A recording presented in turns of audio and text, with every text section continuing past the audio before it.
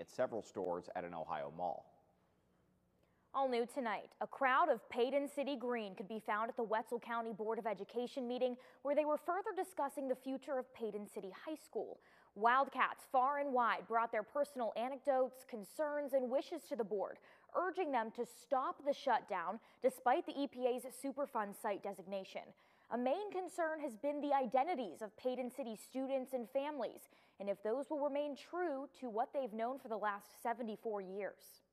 Do we just put them there? Do we have them coexist? Do we have them merge together and exist as a campus together?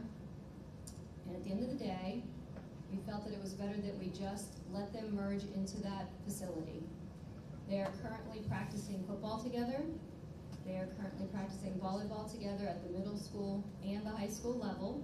I can't do anything about it tonight, except tell you and tell this board, I, with all due respect, I believe our superintendent had the right to do what she did as it relates to temporary closure. It's in her, it's in the statute. She, she, I don't judge anybody's motives as about safety and health and those kinds of things. People can disagree on that. But this is a matter we could have done something about. But the board was never asked what we thought the past should be about extracurricular activities, which really is the identity of a school. It was mentioned that PCHS seniors will still graduate with their green and white caps and gowns and have Paden City High School listed on their formal documents. The West Virginia State Code does allow a superintendent to temporarily shut down a school for health reasons.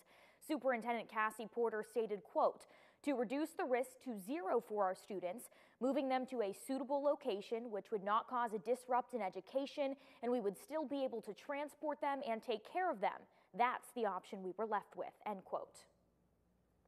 7 News is your local election